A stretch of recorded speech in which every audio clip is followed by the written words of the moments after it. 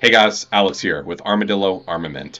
Today we're going to be discussing the degeneracy in the holster manufacturer world, uh, why they have the easiest job of any firearm accoutrement manufacturer, and how they consistently flub that up. If you want to support me, uh, 5% off in Red Pond Shop. We'll remove a pound of junk from the ocean and plant a tree for every single item in that order. You'll get quad nods.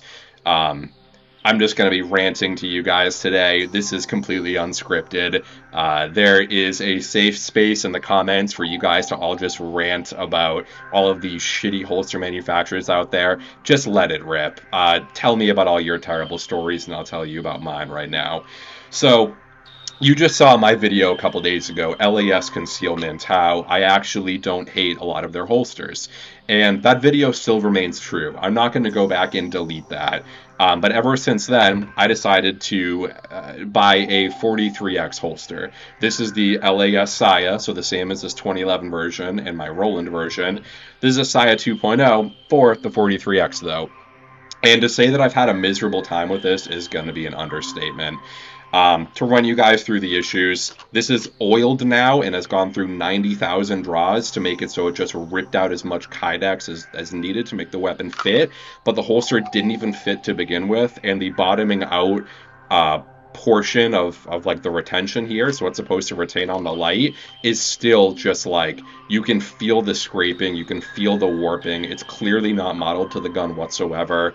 Um, I've tried this with a TLR7 sub and the new Sub X. I'll have reviews on all of that in the future. But this legitimately just doesn't work for this firearm.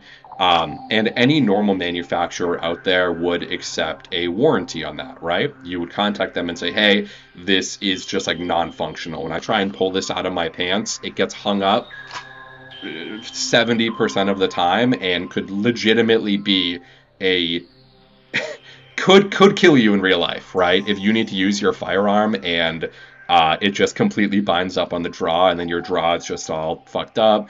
Um, this is a legitimate huge issue, and any company on the planet would say, "Shit, guys, that's a ten dollar holster that it costs us ten dollars to make it. Um, we'll just take this one back. We'll either give them a refund or we'll send them a new one or something. We'll work with them because having a customer un like carrying around a unsafe holster is a huge deal. And that's without taking the fact that I'm a YouTuber into account. I don't expect special treatment from anyone. I expect the bare minimum of like human treatment and, and human com- uh, compassion. So taking my review channel out of the the question, which I have had communication with companies in the past, so they definitely know I exist. Um, it's unacceptable, right? So I reach out with them and I get completely ghosted for like five days, uh, an entire week since Sunday actually, which once again, customer service can take a little bit of time to go through it. I expect an answer within one or two business days, not five days, but you know what? Maybe that's just me being a little being an asshole. I don't know, whatever. Everyone says I'm an asshole for criticizing weapons and accessories and whatnot. But yeah, I'll put a picture on the screen right now. The president of the company uh, reached out with me via email and said that they weren't going to be doing a refund for this. Even though in the refund policy it says that uh, if there's like malfunctions with the holster or there are issues with the holster, they will potentially refund you up to like a certain amount, just especially if you didn't cause any like issues.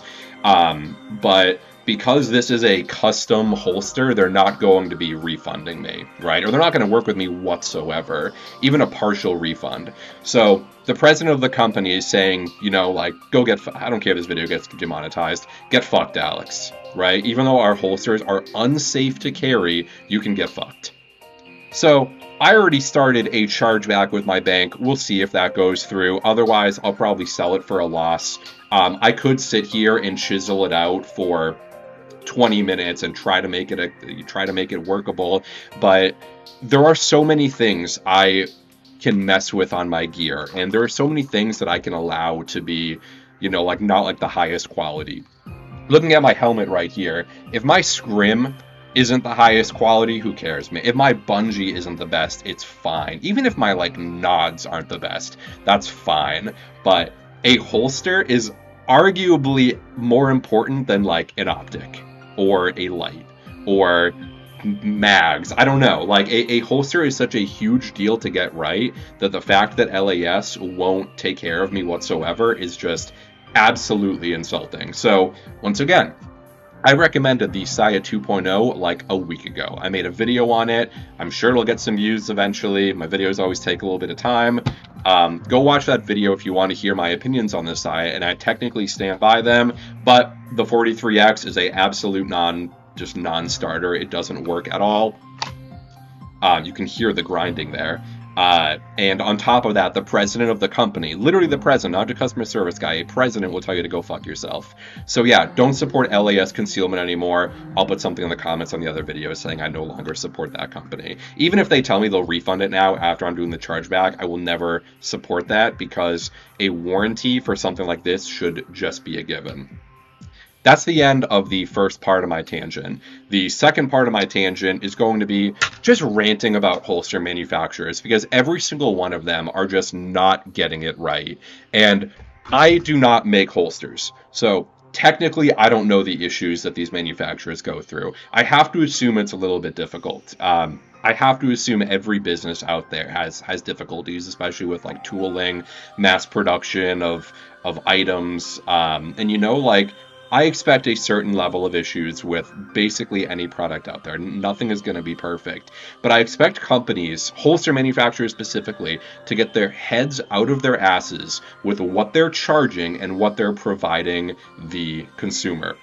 So I'm going to start at the top. Uh, like I said, LAS is a non starter, but I just want to bring you guys through just all the issues that I've had with recent manufacturers, and some of which are fantastic. I'll be telling you about them. I'm just going to grab the first one that's in front of me, the Vedder LightTuck. I'm going to have a review of this uh, sometime in the future. You see this all over Reddit. This is a moderately expensive holster, not nearly as expensive as something like LAS, which is more than $100, or Tenicor, that's more than $100. But I'll put the price on the screen. I think they're like 50 or 60 bucks. Um, but people recommend this everywhere. For a cheaper holster, it's okay, but the clip sucks, the wing sucks, the retention sucks, the quality of the holster isn't super good. There's no active retention, which I know this is for a weapon light, so it can be a little bit different, but regardless, there's no active retention. So anyone that recommends this, uh, I immediately know that they've never used this holster. It can technically get the job done, and it's not exorbitantly expensive, but would it kill them to have different clip options and to not be using this super shitty 3D printed wing. Um, Another thing I forgot to mention, I ordered this. I'll put a picture on the screen right now. I ordered this for my USP Tactical uh, probably about a year ago when I first got it because I wanted to do this really cool collateral uh, intro to my video where I drew and shot the targets. And um, I got that and I spoke with customer service beforehand and they told me that it would work for a USP 45 tactical. And I got it in, and the bottom of the holster technically had this little cutout here. Um, but it 100% the threaded barrel will get stuck on that cutout. Customer service lied to me and then gaslit me in the emails thereafter. I told them that I spoke with customer service and they said it would be fine. I'm pretty sure I had the emails at the time, or I just spoke with the woman, um, and the next person I spoke with on the phone said, actually, no, it's not compatible. I'm like, okay, so you just wasted all of my time, right? I expect a certain level of honesty from the companies that I'm buying and supporting. And once again, this holster isn't terrible. I'm not saying it is a awful holster like some others out there, like this 43X that will get you killed, but they lied about compatibility and it's not nearly uh, high enough quality for a $50, $60 product, $70 product, however much this costs. It's eluding me at this time. Um, so, super negative experiences with Vedder. I don't recommend them. I'll make a video on the, a larger video in the future. Let's go on to PHLster. Once again, I'm not doing this in any specific order. I'm just grabbing the ones that are in front of me. Uh, this one is decent. This is very expensive. I'll put a picture on the screen right now, but my complaints are mostly going to be for the outside the waistband version. By the way, for anyone that doesn't know, this is their floodlight. So this is supposed to fit um, as long as you have an X300 on the firearm, it's supposed to fit basically any firearm. Now, the downside of that is there's obviously a lot more slop in the holster.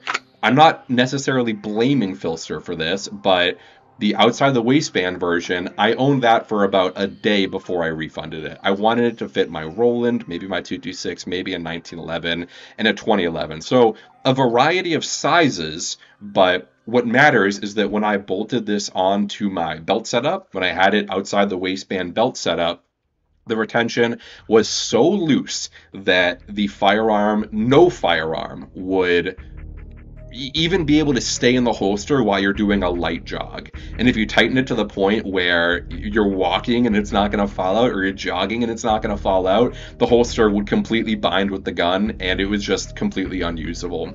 Now, I think it's acceptable on the inside of the waistband holster because uh, when you are having this inside your pants, it's going to kind of clamp it down, put a little bit more force.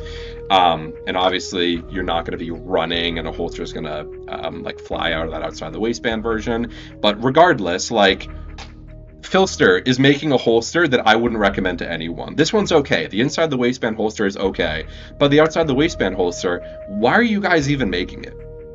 It it doesn't function. If a law enforcement person, or just take law enforcement out of it, if a civilian wanted to buy an outside the waistband holster that fit for uh, basically any gun, it, it it completely wouldn't work. Because even when I tightened this up a ton, it would either completely bind the gun or it wouldn't have anywhere near enough retention. So why are you even selling it?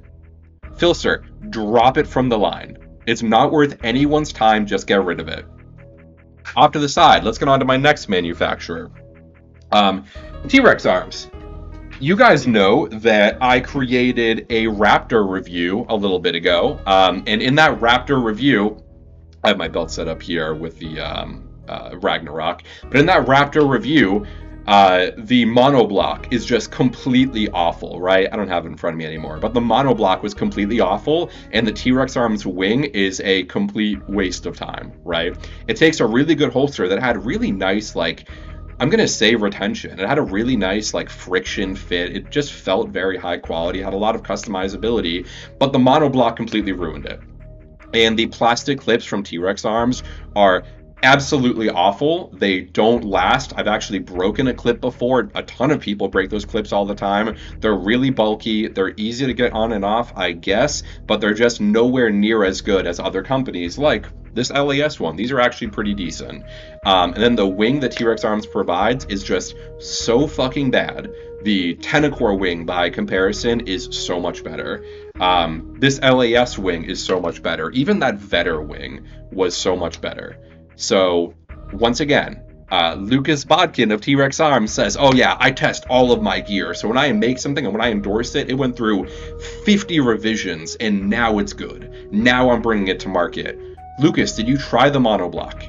The monoblock makes it so the gun, when sitting in your waistband, just does this. The whenever you're walking, it's just rotating back and forth. Do you think that's gonna, when you're trying to draw the gun, do you think having to guess where your gun is is a good idea? Ab- Obviously not. Absolutely not. So, once again, what the fuck are we doing? Right?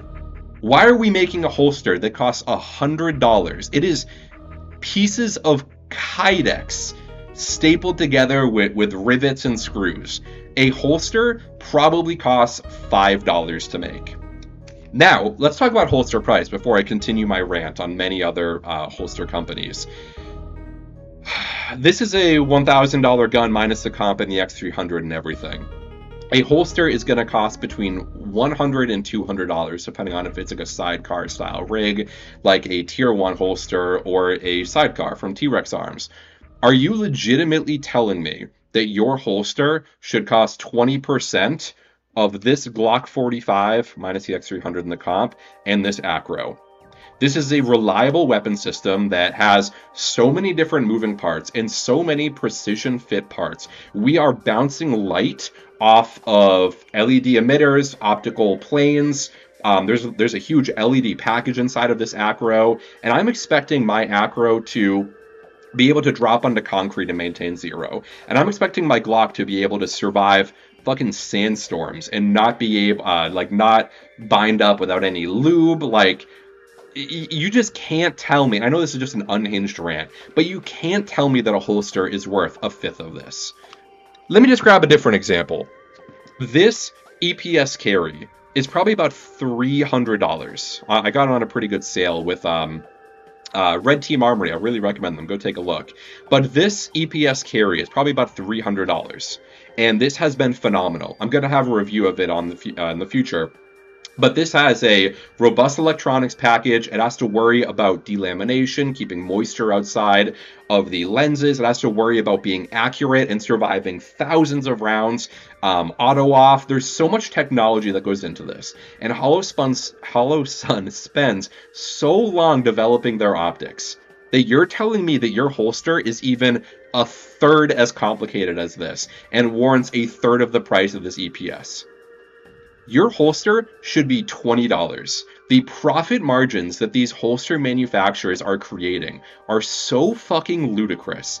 And once again, I know this is just an unhinged rant, but we as a gun community, we need to expect higher. Why do I expect this to be able to survive concrete drops and my Glock to be able to endure everything it goes through? Thousands and thousands of rounds. But when it comes to a holster, oh, my shitty piece of plastic that probably cost the manufacturer $5 to make doesn't even hold my gun well enough, and oh, it's fine.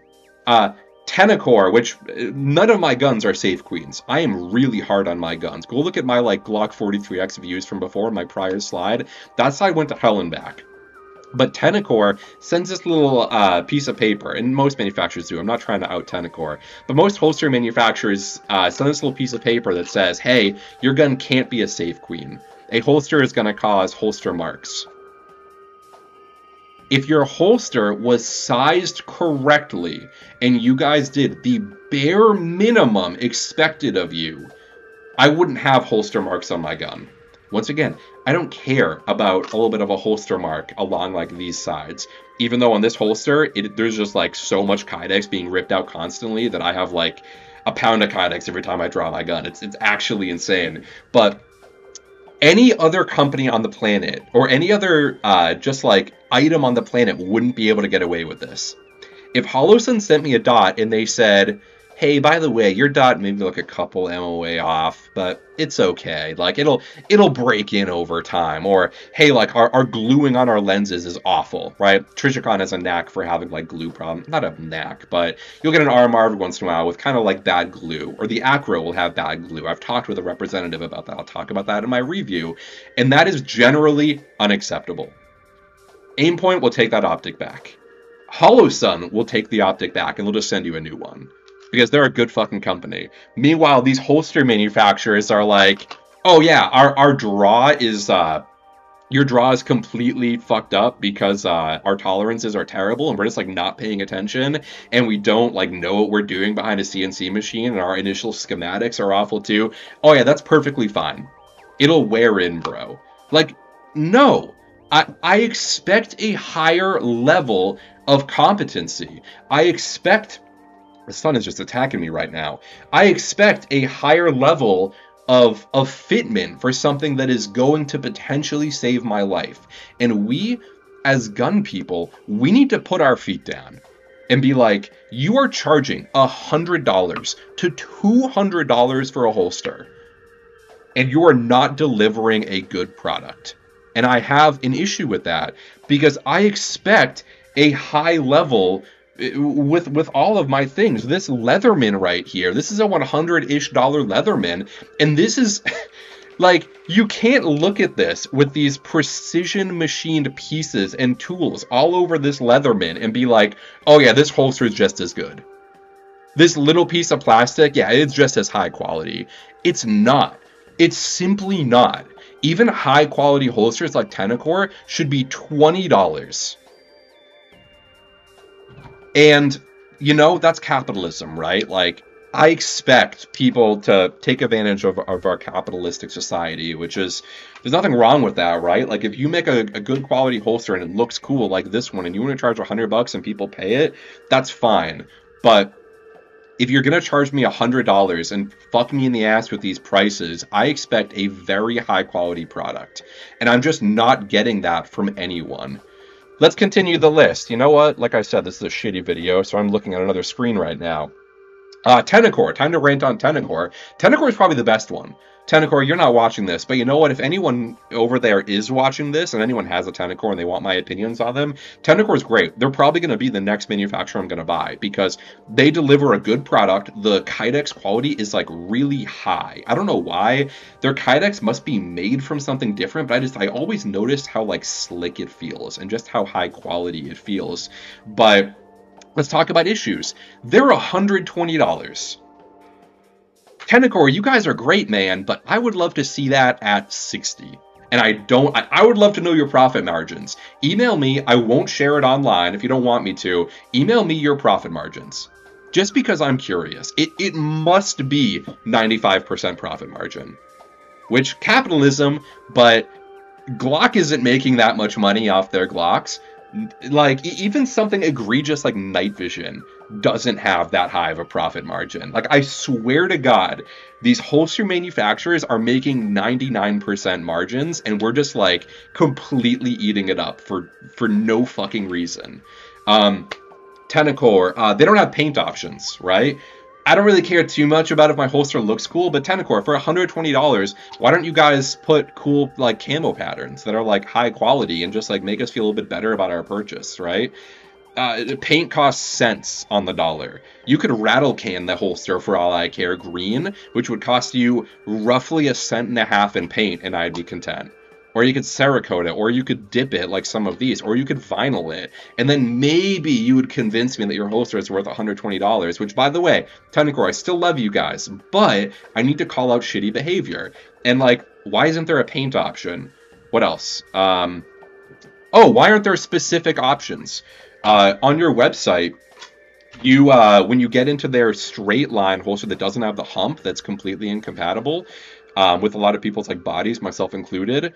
Why is it just the Glock 48 with a TLR7? Why don't you have a 43X option that has a open tip, uh, open tip to the holster, so I can use a comp, right? Sure, it'll be slightly hotter when I put it into my pants and whatnot, but like how much effort does it take you guys to like dremel that piece off? Or to just have a couple more uh, options on the website right? Um, it, it's just like and, they say on the website that oh it's to prevent like holster tipping because a longer holster make it so it sits more uh, like flat against like your body. And like i'm not an idiot. Like i, I know that that's bullshit. I know that it's just oh we don't want to make another type of holster. And that's fine. If you just say that like we just don't want to make a second type of holster for that because you know like we don't see as many like requests or whatever so we just have the one um blah blah blah. Like that's fine but you're not going to bullshit me and tell me that it's because of holster tipping because the light is already there so it's going to prevent the holster tipping. And also holster tipping is bullshit. I carry a glock 43 in a tiny Vedder holster that i yeeted across the ground and holster tipping is never a problem whatsoever. So like like i know that that's bs you, you can't scam a scammer and every one of us are scammers, man. Um, what else did I put? Uh, yeah, the wedge is terrible. Oh, lastly, I want to talk about warranty because Tenicor is an example of a good warranty. Once again, Tenicor, I know you guys think I'm being mean to you guys, but just hear me out. LAS concealment they won't fucking holster it. Uh, they won't uh, warranty anything apparently. So they just blatantly lie about their warranty. The T-Rex Arms warranty was okay. Vedder warranty was a pain in the ass to discuss uh, all my issues with someone. For I had to like speak with five different people to just get my holster back to them and then get my money back. I think I had to pay for shipping. Tenicor, I had multiple holsters, and I got the ones with like the hump, like the Malice Soul and the Sajax Lux. Great holsters. I'm not saying don't get them, but uh, or, and also to compound how good they are, I warranted them like a year later. Uh, I said, hey, I think I've like gained weight or something, and that hump just isn't working for me. You guys have a lifetime warranty. Can I really send that back and get a refund? They're like, yeah, send it back. We'll give you full refunds and everything. That's how you do a warranty, man. Like that's how you do it. Now you're you're bridging the gap a little bit closer to that $120 price point, but even then, that is still stupidly high. Also, Tenicor, why don't you give us the option of having DCC clips or monoblock or this plastic clips or a couple of you guys used to have different clips. Why are those no longer uh, like customizable in your cart? Right? So you see how like manufacturers are just like getting away with dumb shit constantly. Um, Here's another one. Uh, I'm just looking at my list right now. Henry holsters. I wanted to buy a Henry holster, uh, Ember, I think is what it's called. And I'll put a picture of it right here. They look like pretty high quality holsters, and I've seen good reviews online. I even asked them, I was like, hey, do you guys want to like send me one just so I can like review it and kind of get like my thoughts on it? But uh, they won't do that, which is fine. I get it. But I'm a very small YouTuber. But It's $98 which $100 is their free shipping uh, line on their website. If you can spend $100, then they will do free shipping. So they strategically put their holster $2 under for the free shipping mark, and you'd have to buy like a stupid fucking patch, or you'd have to buy like a $10 item in order to qualify for shipping. Um, and it comes with the monoblock. And once again, the monoblock is awful, and it looks like it has the same issue as T-Rex arms, where T-Rex arms didn't really account for the fact, I think, that people are going to be using the monoblock. So the monoblock is actually up on like a ledge. I'll put a picture here. It's up on a ledge, and it means there's going to be a ton of dead space in the belt, right? So what that's going to do is it's going to allow it to just flip-flop back and forth, okay? But they allow you to swap to tier uh, not tier one concealed but the, the, the dual like over hooks the metal ones that Tenicor uses for like a $20 $10 $20 upcharge but you're still going to be sent the monoblock. So why don't you just allow us to change to the dcc clips instead of buying a monoblock and having to replace it and waste that five or ten dollars. And also that would give us the free shipping. And i know the answer. It's because you know your profit margins are so fucking high that if you then also make them buy the dcc clips above that your profit margins get even higher. I swear to like guys this is predatory behavior and once again, no other companies are doing this. Trijicon and Glock and Holosun and Sig Sauer and all these companies aren't getting away with this because if they tried to put out these types of like issues with their guns, people would shut them down and like not buy the product. But holster manufacturers are getting away with it because I don't know if they've like cornered the market or something, but I, it, it's it's just disgusting. Um, I have another note, my summer special by Milt Sparks. Uh, for my Colt Gold Cup in, in the other room, I posted about this on 1911 Addicts. I ordered a uh, Milt Sparks summer special, and it came in, and my gun is kind of like sharp. And when I put the gun, I think it was marred beforehand, but when I put the gun in the holster, um, it kind of like ripped the inside of the holster. And then second of all, uh, carrying appendix was just completely like unusable. Even though I've seen a lot of posts saying that you can carry appendix, but the gun was tilted at such a way that that just like wouldn't be possible without breaking your fucking wrist. Um, that could be my fault. Maybe I should have done more research. But like the leather, I'm pretty sure it came to me. Uh, kind of fucked up, but let's just assume it wasn't and I caused the problem. Your leather isn't treated. This is a 100 to 200 I'll put a picture on the screen but I think it's a very expensive holster like $150 or something. And your leather isn't treated whatsoever? I could take a knife to some leather couches and upholsters and just like everything and like barely make a scratch on it. But your leather my shitty my Colt Gold Cup national match which wasn't even that sharp uh ripped up the inside of the holster you didn't put like a wax coating or any type of treatment. Did you slaughter the cow two hours before you sent me that holster? Right? Like, once again, and by the way, the guy was great. I posted to uh, 1911 Addicts, and everyone memed on me and said I was an idiot. The guy actually uh, emailed me and he was like, "Hey, I'll, you know what, just send it back and I'll eat the cost. It's whatever." And I was like, "Okay, cool." So I'm not shitting on Milt Sparks because they had good customer service, but like, why did the holster come to me like that? Right? Oh, and uh, and the the snap buttons were awful too. They like didn't work. They just like pop out half the time.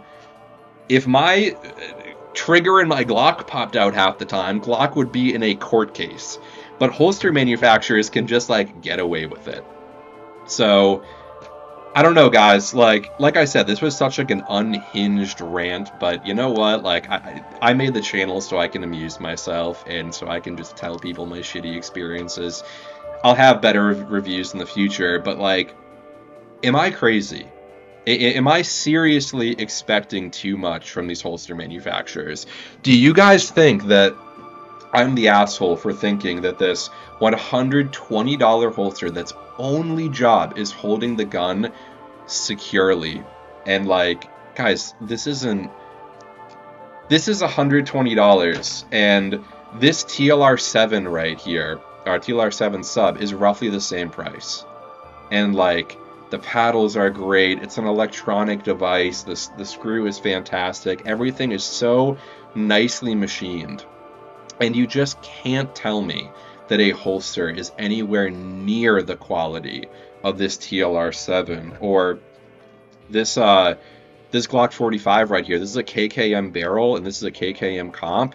That's only a couple hundred dollars. Holsters can match the price of this. And if you're just looking for the barrel, holsters can definitely match the barrel.